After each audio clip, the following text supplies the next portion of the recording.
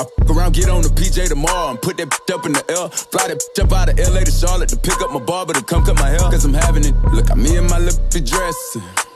Get the salad and hop out that with that ratchet. Go. Stun like my daddy.